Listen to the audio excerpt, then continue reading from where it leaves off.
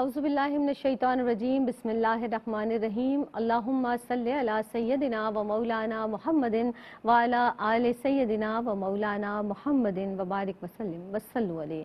انا صلاتی و نسوکی و محیایا و مماتی للہ رب العالمین، کہ بے شک میری نماز، میری قربانی، میری زندگی، میری موت صرف اللہ رب العزت کے لیے ہے جو تمام عالمین کا رب ہے۔ السلام علیکم ورحمۃ اللہ وبرکاتہ۔ آپ کے پسندیدہ پروگرام میری پہچان کے ساتھ حاضر خدمت ہیں۔ جناب، اللہ تعالیٰ نے یہ پوری کائنات جو بنائی ہے وہ بڑے خوبصورت انداز سے سجائی ہے۔ اور ساتھ ہی یہ بھی فرما دیا کہ اس دنیا میں جو کچھ ہم نے بنایا ہے وہ زیبائش ہے، زینت ہے۔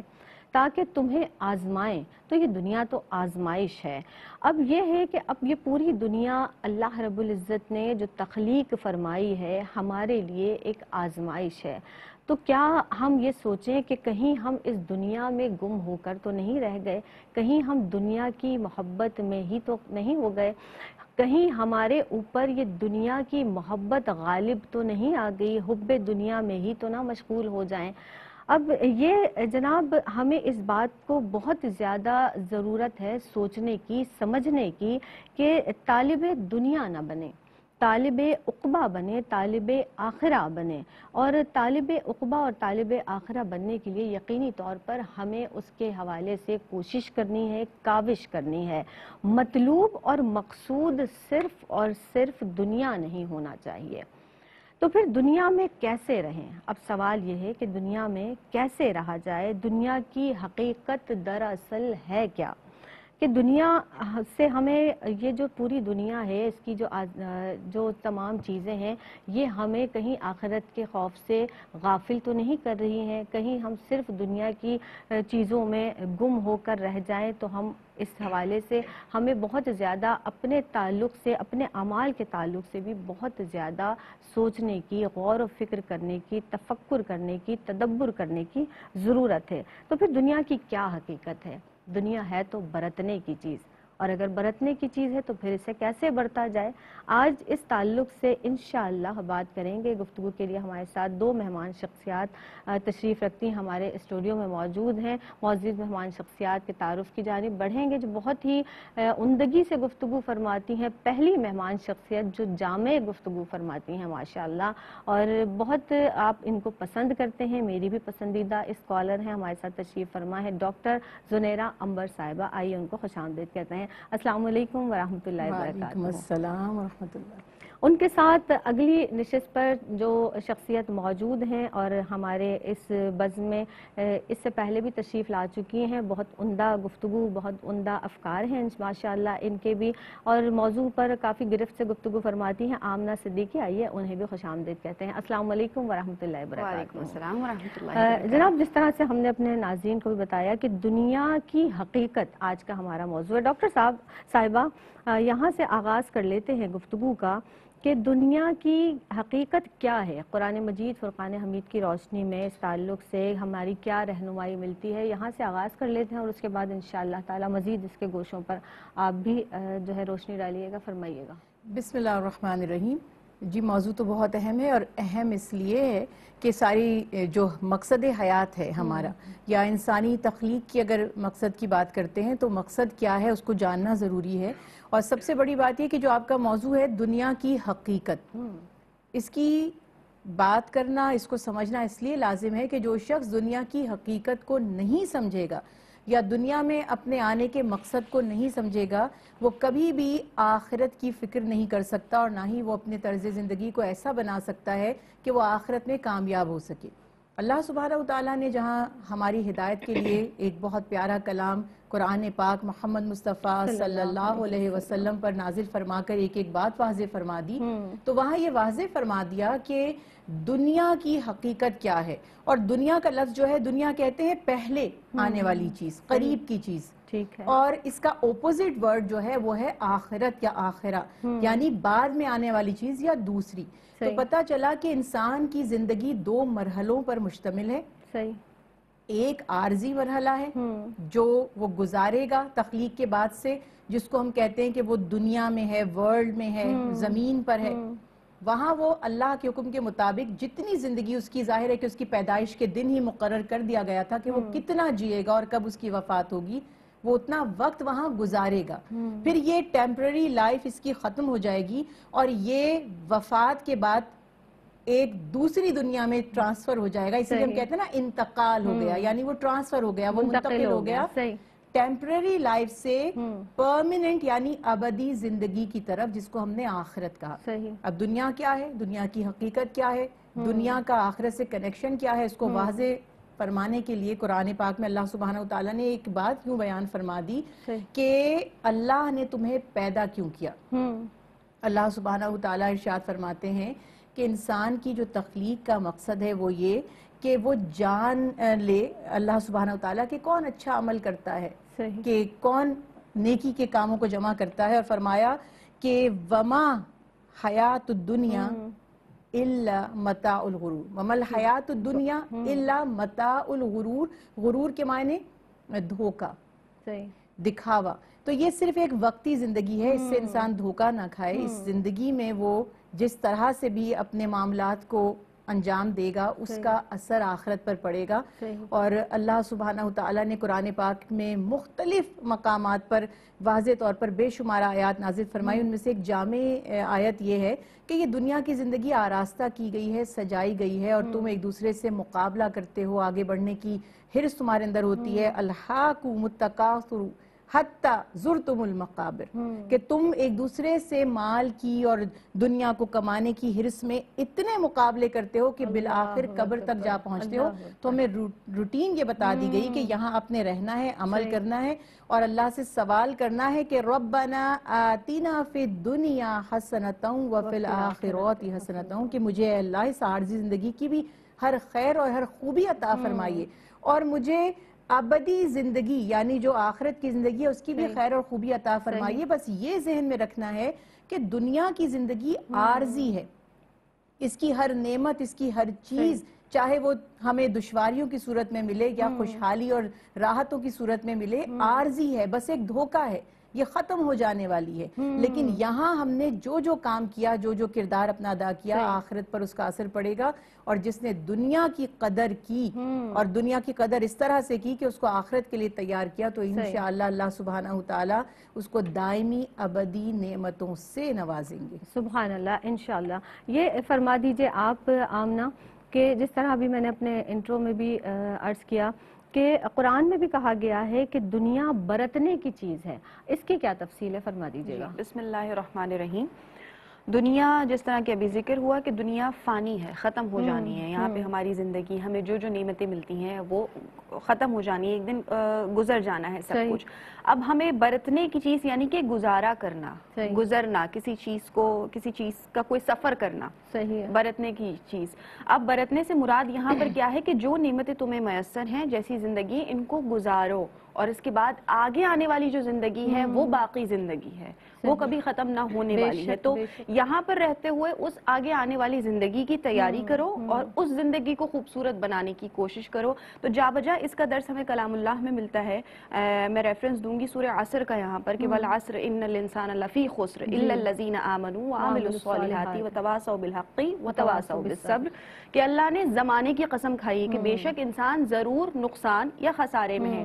مگر جو ایمان لے آئے اور جنہوں نے اچھے کام کیے اور جنہوں نے ایک دوسرے کو حق کی تاقید کی اور ایک دوسرے کو صبر کی وصیت کی۔ تو انسان دنیا میں رہتے ہوئے خسارے میں ہے۔ پھر دوسرے مقام پہ سورہ لقمان میں بھی یہ ہے کہ کہیں دنیا کی زندگی تمہیں دھوکے میں نہ ڈال دے۔ اس کا جی۔ مفہوم آیا مبارکہ کا یہ ہے۔ تو دنیاوی زندگی ہمیں دھوکے میں کیسے ڈالتی ہے کہ جب ہم دنیاوی لذتوں میں گھر جاتے ہیں۔ دنیاوی خواہشات جو ہے وہ ہمارا محور بن جاتی ہے مرکز بن جاتی ہے کہ۔ بس ہم سمجھتے ہیں یہی زندگی ہے۔ تب یہاں سے ہم بھٹکتے ہیں جبکہ یہاں پہ ہمیں زندگی کو گزارنے کے حوالے سے برتنے کا لفظ استعمال کیا گیا کہ یہاں تو بس گزارا کرنا ہے۔ جیسے تیسے کر کے زندگی یہاں پر گزارو اگلی جو زندگی ہے اس کے لیے یہاں پر رہتے ہوئے پریپریشن کرنی ہے۔ حدیث مبارکہ میں نبی کریم صلی اللہ علیہ وسلم کا ارشاد گرامی ایک مرتبہ آپ تشریف لے جا رہے تھے کچھ صحابہ اکرام کے ساتھ تو وہاں ایک بکری کا بچہ مردہ حالت میں تھا۔ تو نبی کریم صلی اللہ علیہ وسلم نے صحابہ اکرام سے پوچھا کہ آپ میں سے کوئی اسے لینا چاہے گا؟ اور کتنے رقم دے گا اس کی؟ تو لوگوں نے یہی عرض کی کہ یا رسول اللہ اس کو لینے کے لیے رقم کی کیا ضرورت؟ ہم تو کسی غیر معمولی چیز یا معمولی چیز کے اعتبار سے بھی اس کو نہیں خریدیں گے اس کو نہیں لیں گے کیونکہ یہ تو مردار ہے۔ تو نبی کریم صلی اللہ علیہ وآلہ وسلم نے فرمایا کہ آپ اس کو جتنا بے وقت سمجھ رہے ہیں اس مردہ بکرے کی بچی کو اس سے زیادہ بے وقت شے اللہ کی نظر میں دنیا ہے۔ اللہ اکبر۔ پھر ایک حدیث مبارکہ میں ہے کہ اللہ کی نظر میں دنیا ایک مچھر کے پر کے برابر بھی حیثیت نہیں رکھتی۔ تو یہاں جب ہمیں صرف گزارا کرنے کے لیے ہمیں یہاں پہ ایک پریکٹس کرنے کے لیے یہاں پر بھیجا گیا ہے کہ ہم یہاں پر اللہ تبارک و تعالیٰ کے احکامات پر عمل کریں اور جس طرح کی زندگی اس نے عطا کی کیونکہ ہم جیسے عرف عام میں کہتے ہیں کہ اللہ رب العزت دے کر بھی آزماتا ہے اور لے کر بھی آزماتا ہے۔ تو یہ جو خداوند تعالیٰ کی تقسیم ہے کسی کو بہت نوازا ہوا ہے کسی کے پاس کچھ بھی نہیں ہے۔ ہمیں اس پر اعتراض نہیں کرنا کیونکہ اس کی حکمتوں کو ہم نہیں جانتے۔ کہ وہ ہمیں کب دے کر آزما رہا ہے کب لے کر آزما رہا ہے کسی کو ہے۔ اگر بہت صاحب دولت کیا ہے تو ہو سکتا ہے اس کا مال سے اس کی آزمائش ہو رہی ہو ہمیں نہیں تو ہم یہ جو کہہ لیجیے کہ ہم ناشکری کے کلمات کہہ دیتے ہیں کہ یہ کہہ دیتے ہیں ہمیں زندگی میں ملا ہی کیا ہم نے اچیو ہی کیا کیا۔ تو ہمارا حساب کتاب کیا ہوگا؟ ہم تو ساری زندگی مشکلات پریشانیوں میں رہے۔ آپ کو نہیں معلوم آپ کو یہ مشکلات کس وجہ سے دی جا رہی ہیں۔ ہو سکتا ہے آپ کے گناہوں کی وجہ سے ہو۔ ہو سکتا ہے اللہ رب العزت نے کسی خاص آپ کو اپنا قرب عطا فرمانا ہو جس کی وجہ سے آپ کو وہ اس راستے سے گزار رہا ہے۔ بہرحال ہمیں زندگی کو اس طرح گزارنا ہے کہ ہمیں آگے آنے والے جہان کی آگے آنے والی دنیا کی جو ہے وہ۔ تیاری کرنی ہے اور اس کے لیے جتنے نیک اعمال یہاں کریں گے وہاں اتنی راحتیں ملیں گی تو یہاں برتنا ہے یہاں۔ گزارا کرنا ہے۔ سبحان اللہ۔ اور جس طرح سے ظاہر ہے یہ بھی ہماری تعلیمات ہیں اور اس سے ہمیں پتہ چلتا ہے کہ دنیا میں ہمیں ایک مسافر کی طرح رہنا ہے۔ جیسے کہ ایک مسافر کہیں جانے کے لیے بہت ہی کم ساز و سامان جمع کرتا ہے تاکہ سفر آسان ہو جائے تو اس دنیا میں بھی ہمیں اسی مسافر کی طرح رہنا ہے۔ مزید اس موضوع کے تناظر میں گفتگو کی جائے گی۔ آپ رہیے گا ہمارے ساتھ ہم رہیں گے آپ کے ساتھ ملتے ہیں اس مختصر سے وقفے کے بعد۔ السلام علیکم ورحمۃ اللہ اللہ وبرکاتہ۔ میری پہچان میں ایک مرتبہ پھر آپ سب کا خیر مقدم ہے۔ موضوع جناب آج کا ہے دنیا کی حقیقت اور اسی تعلق سے آج اس بزم میں گفتگو کی جا رہی ہے۔ مہمان شخصیات ہمارے اس پینل میں، آج کے پینل میں جو موجود ہیں، سب سے پہلے تشریف رکھتی ہیں ڈاکٹر زنیرا امبر صاحبہ اور ان کے ساتھ اگلی نشست پر تشریف فرما ہے آمنہ صدیقی۔ ڈاکٹر صاحبہ، یہ ارشاد فرما دیجیے کہ جس طرح سے ہم نے ابھی بریک پہ جانے سے قبل بھی بات کی کہ دنیا کی مثال دنیا میں ایسے رہیں، ایک مسافر کی طرح، یا دنیا میں اس طرح ایک پانی کا بلبلہ جس طرح سے ہے اتنی اتنی ہی قدر و قیمت دنیا کی بتائی گئی ہے۔ آپ یہ ارشاد فرما دیجیے کہ قرآن مجید میں ایک جگہ کہا گیا کہ دنیا کی زندگی لہو و لعب سے اس سے کیا مراد ہے؟ بسم اللہ الرحمن الرحیم۔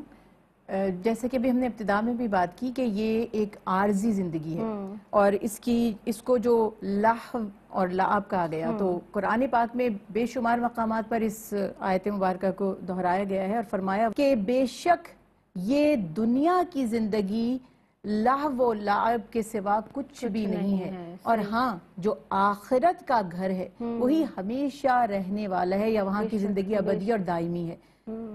لہو اور لعب جو اردو میں بھی ہم بات کرتے ہیں اور عربی میں لہون و لعبن جس کو ہم کہا کرتے ہیں اس کے بے شمار میننگز ہیں ڈکشنری میں۔ بے شمار۔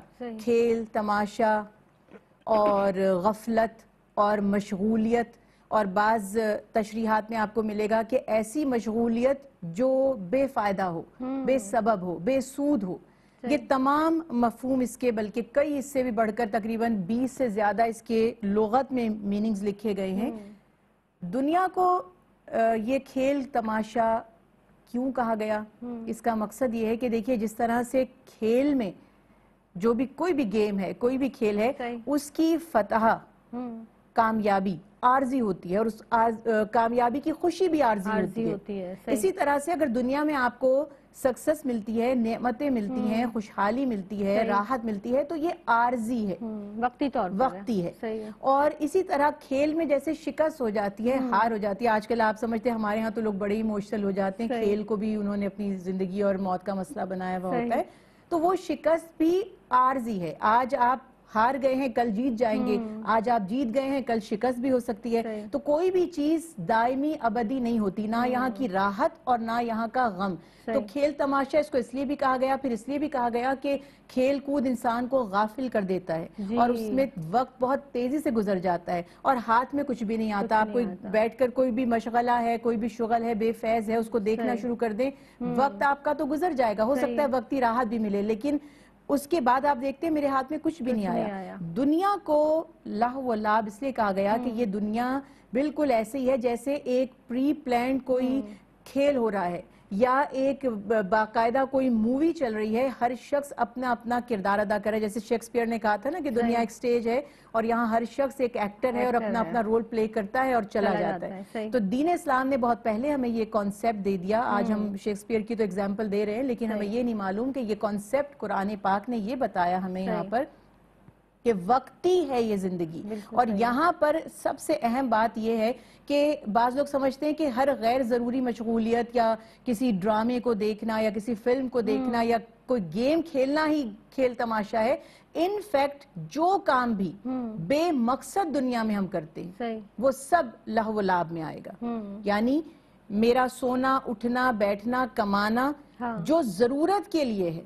اب فرض کیجیے کوئی نیند آپ کی آٹھ گھنٹے کی بہت ہے اب کوئی بارہ بارہ گھنٹے سو رہا ہے تو یہ۔ لاہ و لاب زندگی۔ برباد کر رہا ہے۔ بے مقصد جتنی ضرورت ہے کام کی اگر ہماری ضروریات دین اور دنیا کی ضروریات وہ ہیں جو اللہ سبحانہ وتعالی کے احکامات کے مطابق ہے اگر ہم اپنا ایک ایک دن اور ایک ایک لمحہ اللہ کے حکم کے مطابق یا با مقصد گزارتے ہیں۔ تو یقینی طور پر پھر ہم نے زندگی کا دنیا کا حق ادا کر دیا۔ ادروائز ہم جو کام بھی غیر ضروری کر رہے ہیں آج میں اس کی چھوٹی سی کوئکلی مثال دے دوں فیس بک پر اور سوشل میڈیا پر ہم اپنے آورز ضائع کرتے ہیں۔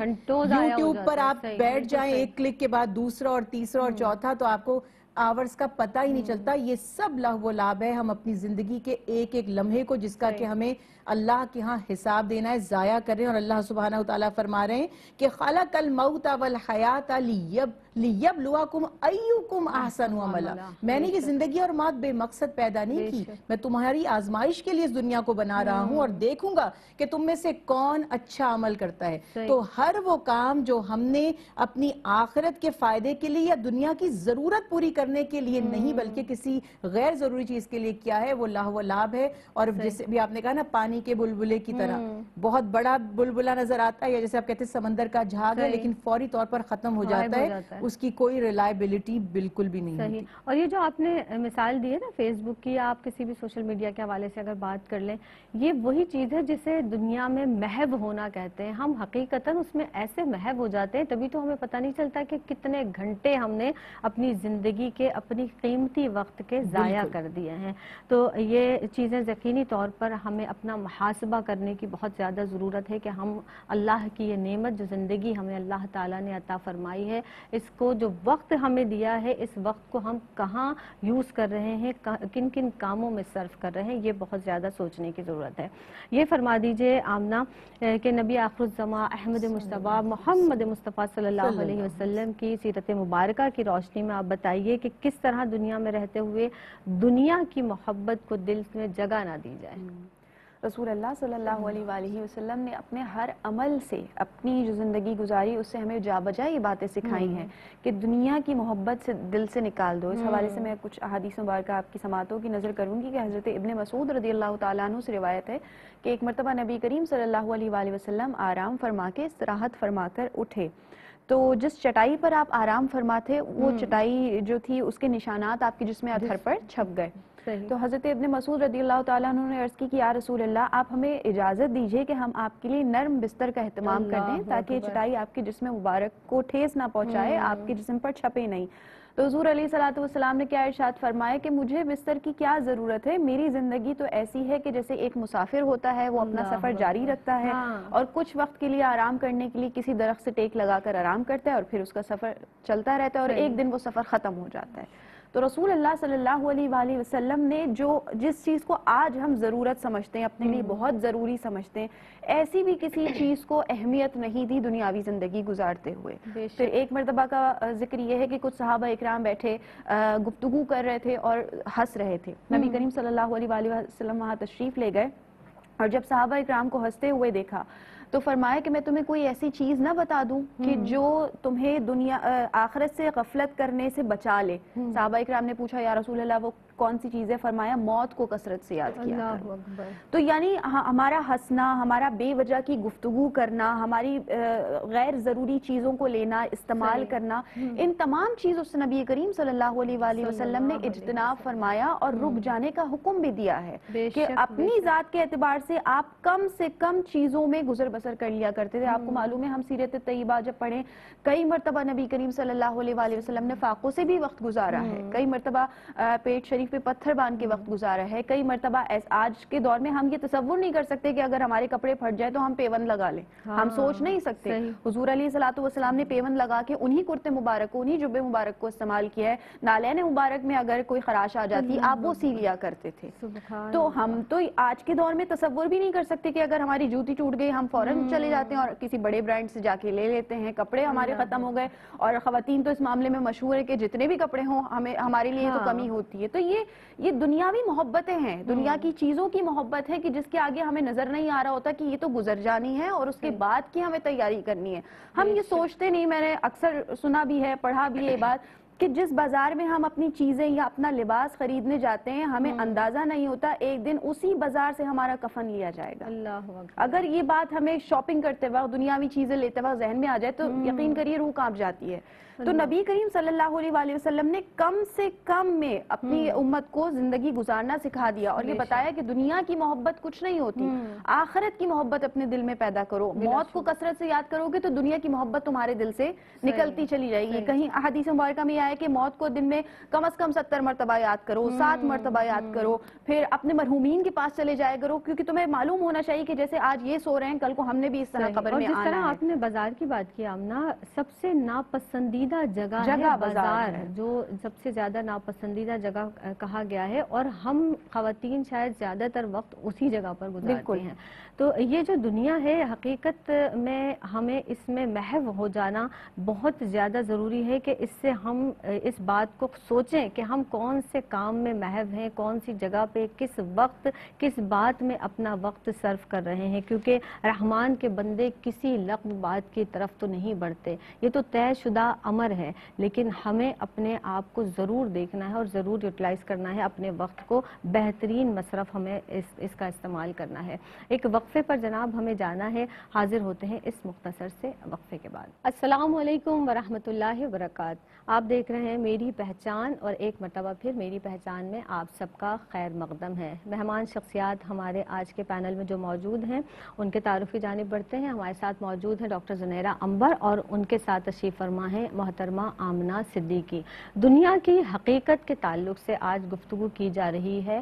اور یہ ہم اور آپ ضرور جانیں گے اور ضرور اس پروگرام سے بھی ہمیں اور آپ کو، ہم سب کو یہ بہت زیادہ سیکھنے کو ملے گا اور ہم کوشش بھی کر رہے ہیں سیکھنے کی، عمل کی بھی اللہ تعالی ہم سب کو توفیق عطا فرمائے کہ ہمیں دنیا میں کیسے رہنا ہے، کہ بازار سے گزرا ہوں، خریدار نہیں ہوں۔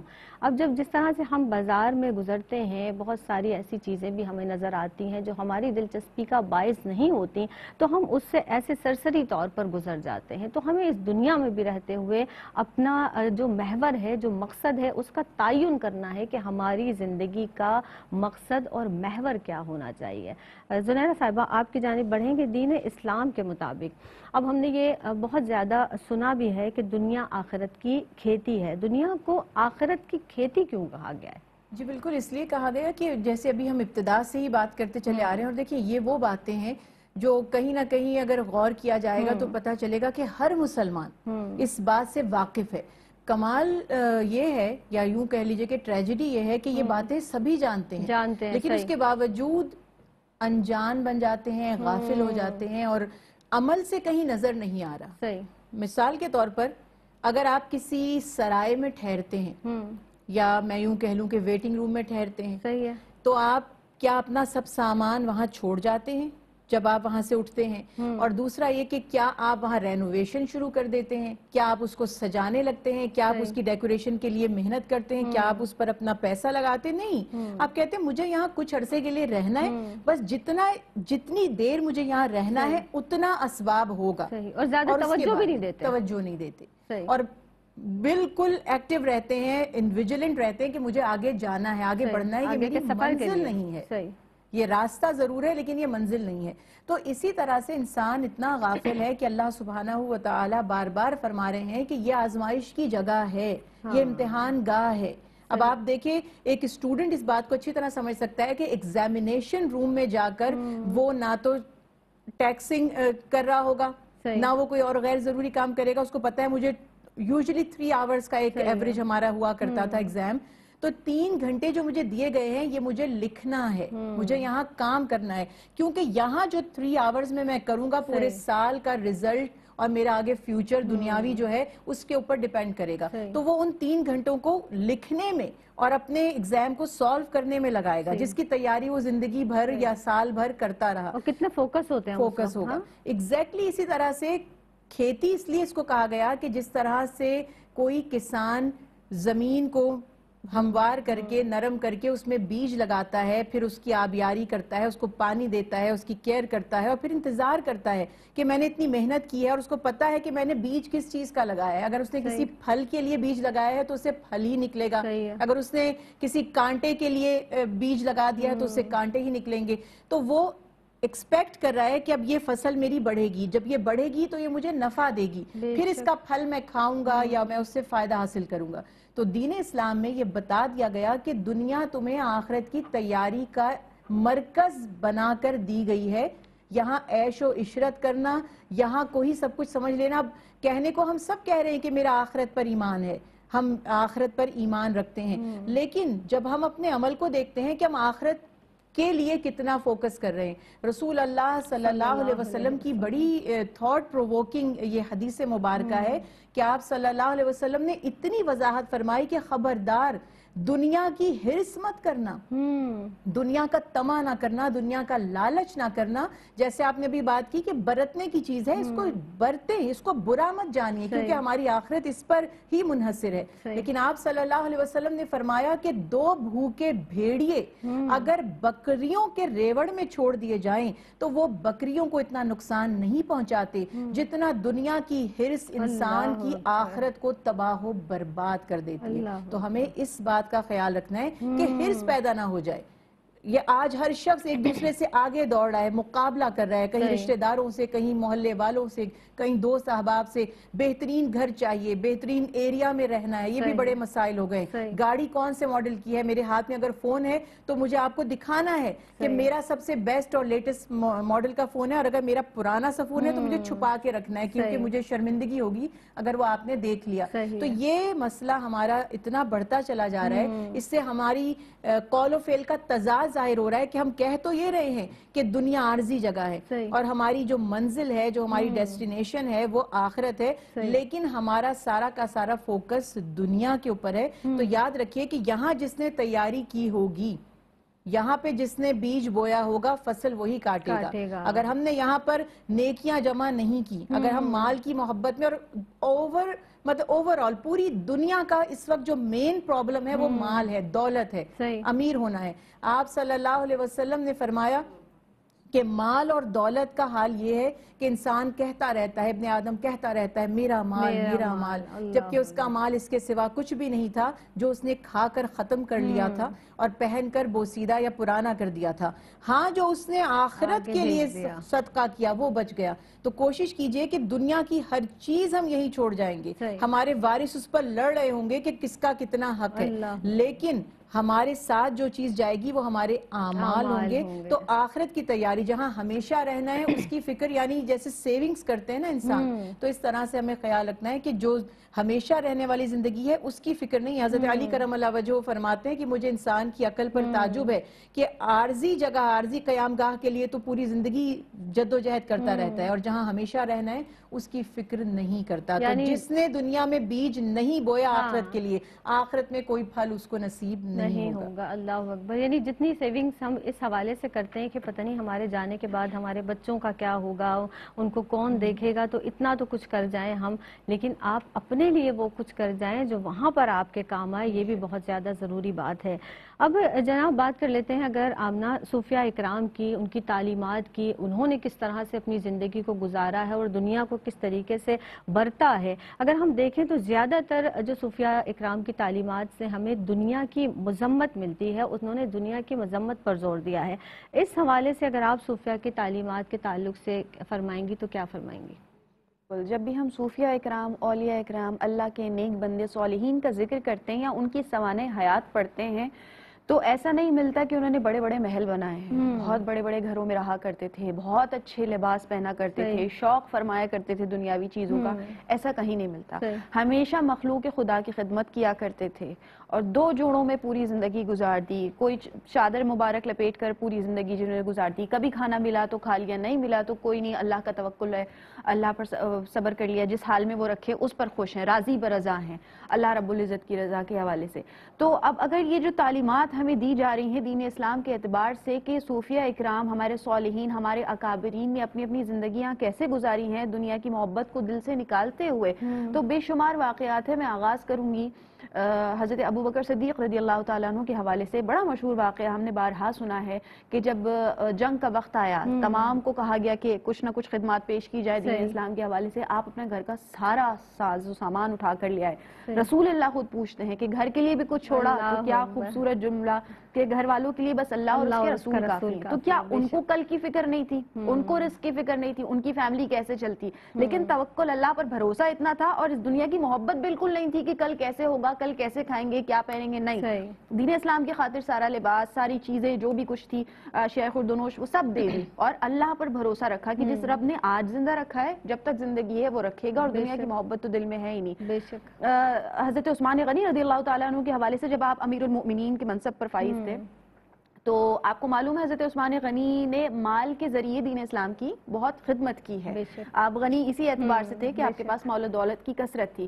تو ایک شخص آیا اور پوچھنے لگا کہ مجھے جو ہے وہ ضرورت مند ہوں مجھے میری مدد کر دی جائے تو میں امیر المؤمنین کی بارگاہ میں آیا تو لوگوں نے بتایا فلاں مکان آپ کا ہے۔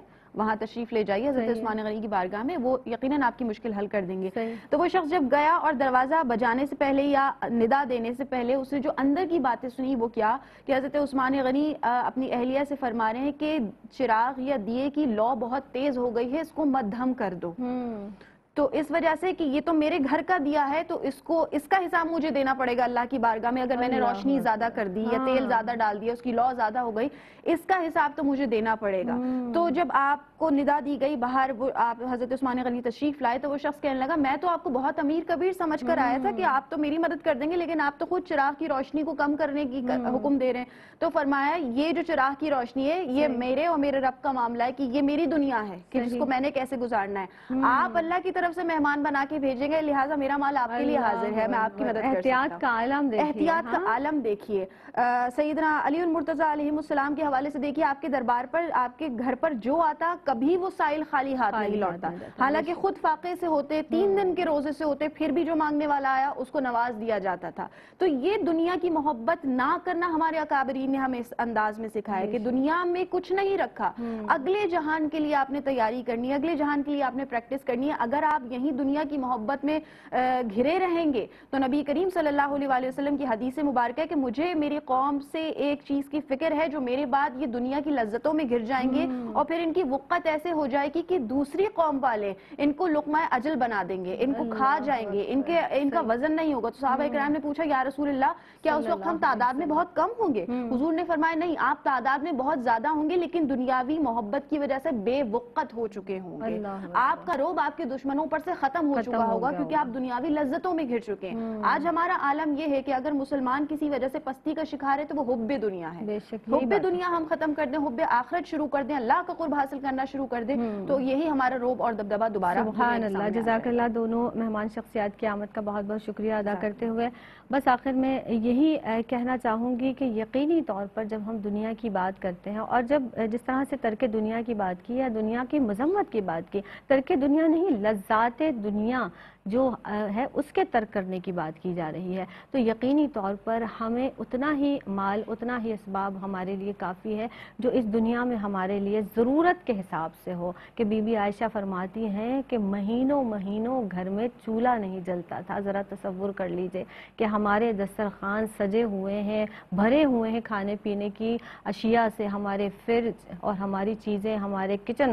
آپ سوچئے کہ وہاں پر وہ فرما رہی ہیں کہ مہینوں مہینوں چولہا نہیں جلتا تھا اور کھانے کے لیے صرف دو کھجوریں ہوتی تھیں۔ یہ نہیں، درجنوں کھجوروں نہیں، صرف دو کھجوریں۔ اللہ اکبر۔ تو یہ عالم ہے اور اس طرح سے زندگی گزاری گئی ہے۔ اللہ رب العزت ہم سب کو بھی عمل کی توفیق عطا فرمائے۔ اس کے ساتھ ہی اپنی میزبان سیدہ زینب کو دیجیے گا اجازت۔ فی امان اللہ۔